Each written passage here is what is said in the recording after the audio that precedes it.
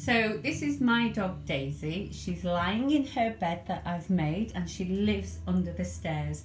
Now it looks a bit dark in there but it's quite cosy and she actually likes it. It keeps her warm um, rather than when she used to sleep at the bottom of the stairs and it's wintry now so she's got a nice draft proof area.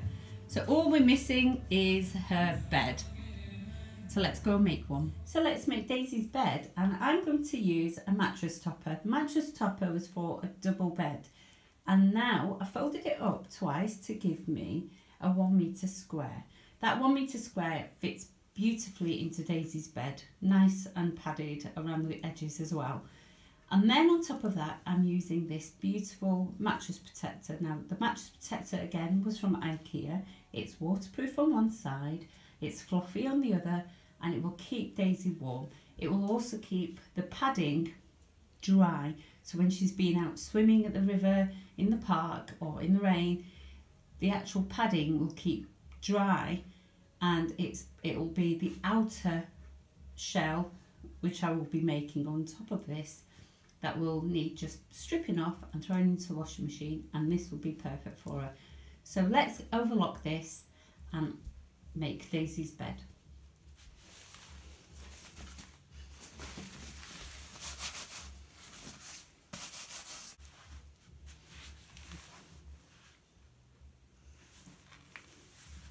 Just fold it in half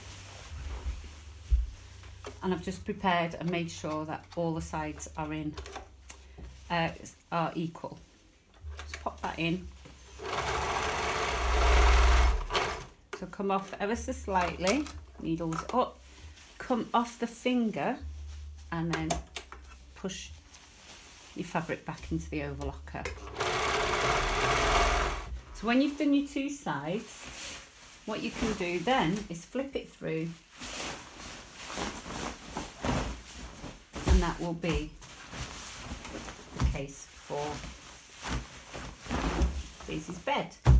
Right, next job. Okay, so the thing about the mattress topper is it's four layers of uh, padding that's going to go inside our case. So we need to keep it all together so it doesn't slip and slide inside while Daisy moves around. So we've got um, a pair of scissors, some string, and I've actually got uh, an old plastic chopping board which I'll use to protect my table. I'm going to drive the pair of scissors through the layers. Now you need to be really careful when you do this that you don't injure yourself. And just grab that there. And then you want to feed if you can your string and catch it between each of the layers. And then we'll just tie a tight knot.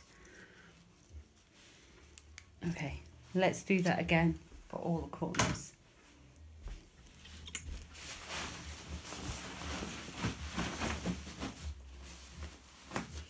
Okay, once that's on, I can now just overlock the edge. So we'll just sew that down now. But because it's on the overlocker, I'm not going to turn it inside out because I've got the padding in. I'm going to just overlock the edge and leave that exposed. It's quite tricky because it's quite heavy. Bring the overlocker to us. and we'll just go straight down from there. And there we go, there's Daisy's new bed and I'll just put a cover over that which I can just overlock and add some snap buttons and there she'll have a new bed. So there's Daisy in her lovely comfy new bed.